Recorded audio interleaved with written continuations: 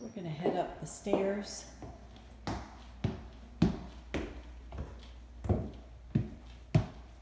Again, this is the Seascape Townhouse. And this is that loft area. Again, you can see a little bit of a difference there. So once again, mirror image to the building across the street. That's where we were, the surf side.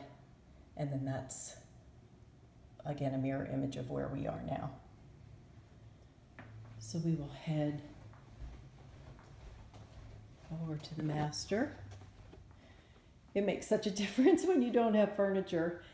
You still have those three windows on that side, but again, none on the end on that wall there. Oh, and this does have, sorry about that. This does have the can lights there. And we still have the two closets. And we head into the bathroom. Just a little bit different in terms of selection, but the layout's the same. Nice shower.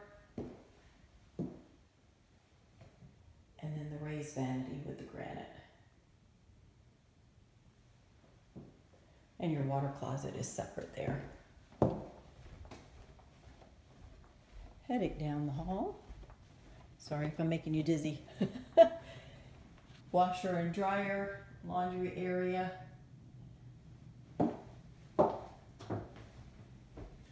It's plumbed for a sink. I'm not quite sure if that is a standard or if that's an upgrade kind of scenario.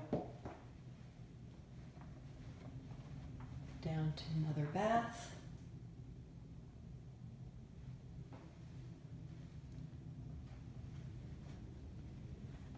And then your two bedrooms.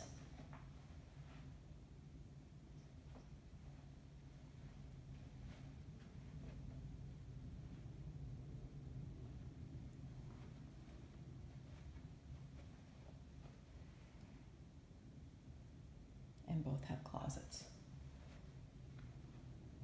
So that is the second floor plan.